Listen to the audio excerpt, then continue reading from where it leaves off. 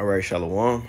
First and foremost, I'd like to give all honor and glory to Yahweh Bahasham, Yahweh Shai Bahasham, Rakah Kodash, the ones to the elders and the apostles of the great millstones. Citation to all that I can put the word true certain with charity. Yahweh is the true name of the Heavenly Father, whom the word and he calls God Jehovah Bahasham is in the name. Yahweh Shai is the Son's name of the word and he calls Jesus and Rakah Kodash, the Holy Spirit.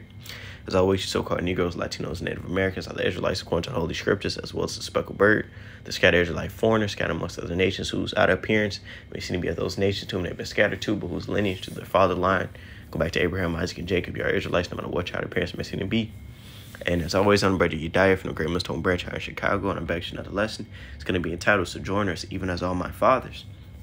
You know, and hey, sometime last week I came across this precept when I was reading Psalms, and hey, just bringing out this is Psalms 39 and 12. It says, Hear my prayer, O Yahweh, and give ear unto my cry.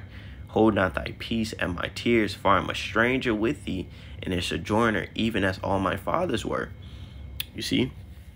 And then that's what we are here today. You know, we're sojourners. You know, we're we're just passing by, as the scriptures uh, repeatedly say. You know, as it says in the book of uh, Micah, I believe 2 and 10, Arise and depart for this is not your rest. It is sore polluted. It should even destroy you. You know, eh, eh, we're here, but we're not from here. You see, ultimately, we're trying to get to our kingdom, eh, a heavenly kingdom established here on earth.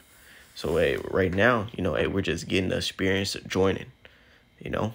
But hey, this is that word sojourner. It's from the Hebrew uh, thawa shop. Thawa shop. It says sojourner, stranger it says uh Strong's definition from H3427, a dweller, but not outlandish, especially as distinguished from a native citizen. Uh, active participle participle of H3427 and a temporary inmate or mere lodger.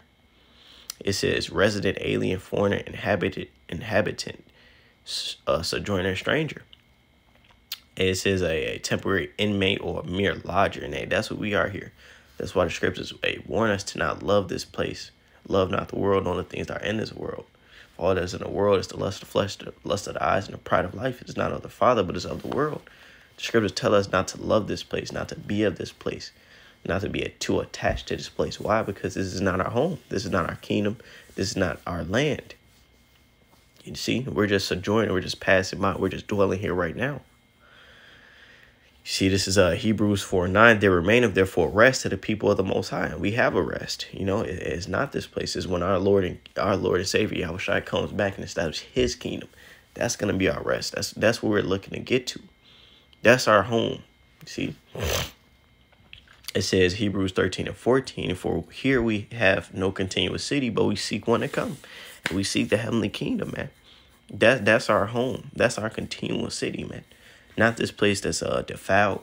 You got alphabets and transformers and all this wickedness. That's not our place, man. This is uh Hebrews 11 and 1. It says, Now faith is the substance of things hoped for, the evidence of things not seen. Exactly. And, we're hoping for what we can't see. You know, we're hoping for that. Uh, it was written in the Holy Scriptures to actually manifest and take place. That's our faith. That's our expectation. It says, For by it the elders obtain a good report. It says, verse 3 Through faith we understand that the worlds were framed by the word of the Most High, so the things which are seen were not made of things which do appear. And we understand that hey, this is Yahweh Bahasham Yahweh Shai's world. This, hey, this is all His, you know? It says, uh, by verse 4 By faith Abel offered unto Most High a more excellent sacrifice than Cain, by which he obtained witness that he was righteous, the Most High testifying of his gifts and by it he being dead yet speaketh. Verse 5 But by faith Enoch was translated that he shall not see death, and was not found, because the Most High had translated him. For before his translation, he had this testimony that he pleased the Most High. You see, these are our uh, ancient patriarchs, you know.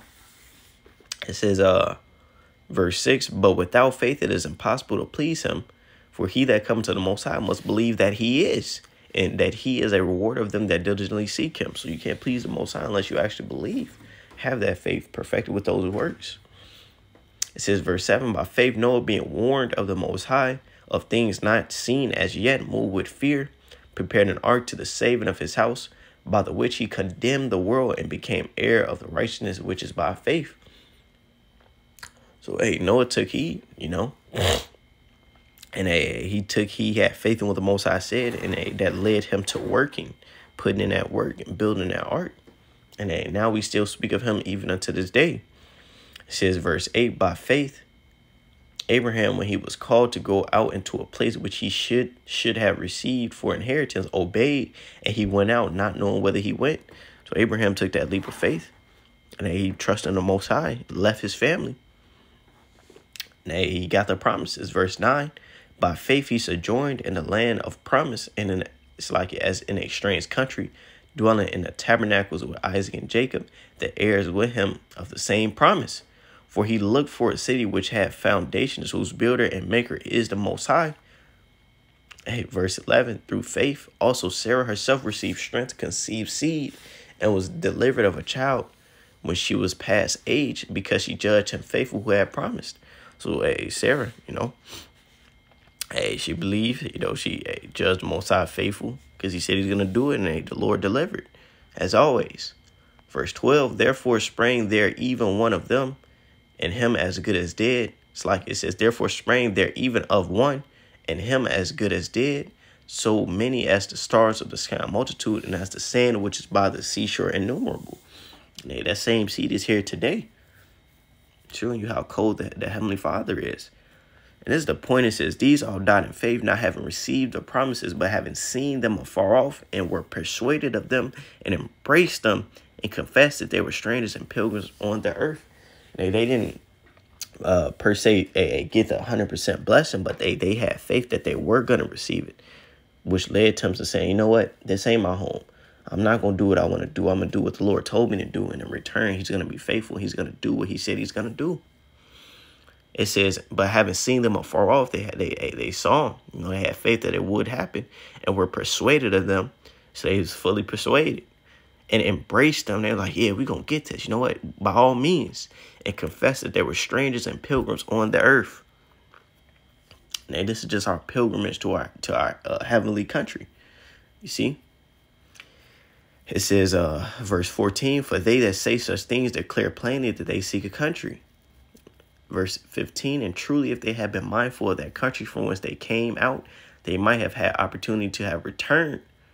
But now they desire a better country, that is, in heavily, where the Most High is not ashamed to be called their power, for he hath prepared for them a city. You see? So, hey, we have a rest. Verse 17, by faith, Abraham, when he was tried, offered up Isaac, and he that had received the promises offered up his only begotten son of whom it was said that in Isaac shall thy seed be called.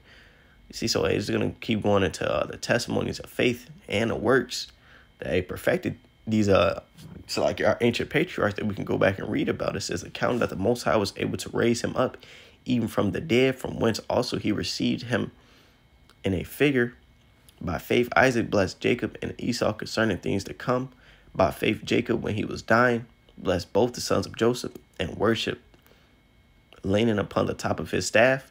By faith, Joseph, when he died, made mention of the departing of the children of Israel and gave commandment concerning his bones. By faith, Moses, when he was born, was hid three months of his parents because they saw he was a proper child and they were not afraid of the king's commandment.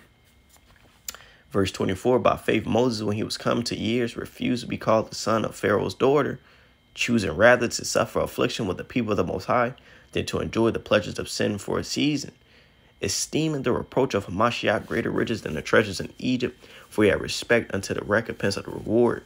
And, Moses, man, he he had power, more substance than any of us. And uh, that ancient Egypt Egyptian uh, kingdom, you know.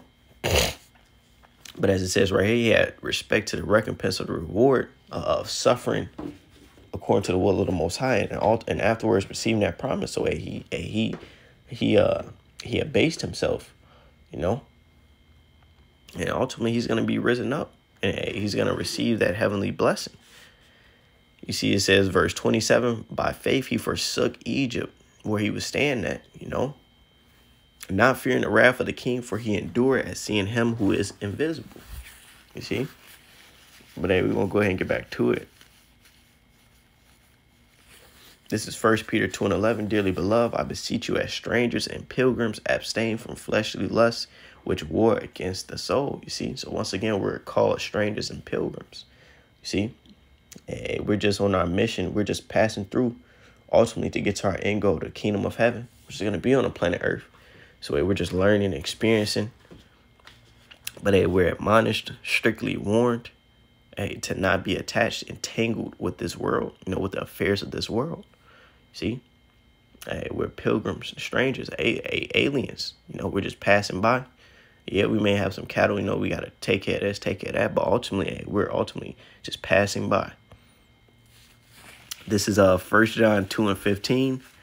Love not the world, neither the things that are in the world. If any man love the world, the love of the Father is not in him. You see? So we're not to be entangled with this place. Verse 16, for all that is in the world, the lust of the flesh and the lust of the eyes and the pride of life is not of the Father, but is of the world. And the world passeth away, and the lust thereof, but he that doeth the will of the Most High abideth forever. And we want to abide forever, so we're going to do the will of the Most High rather than uh, uh, be complacent, uh, try and make this our home and be passed away with this place. Because there's an inevitable judgment coming to this place. You see? Hey, so hey, Lord willing, there's just a quick edifying lesson Call I am La, Yahweh Bahasham, Yahushai Bahasham, Harakah Kodash, the bonds to the elders and the, uh, the elders and the apostles of the great millstone.